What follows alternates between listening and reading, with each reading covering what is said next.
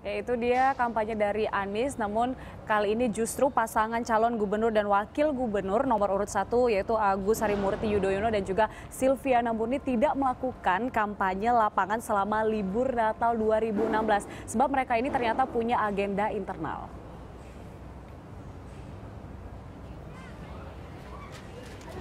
Menurut juru bicara pasangan Agus Silvi, Riko Rustombi, agenda internal Agus Silvi tidak disebar ke publik. Meski demikian, Riko menyebut Agus Yudhoyono akan mengikuti acara refleksi akhir tahun yang selalu dilakukan keluarganya yang sudah menjadi tradisi.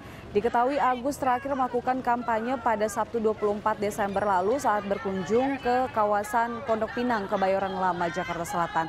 Saat ditanya terkait dengan rencananya dalam menyambut tahun baru 2017, Agus mengatakan akan melakukan perenungan apa saja yang telah dilakukan sepanjang tahun 2016.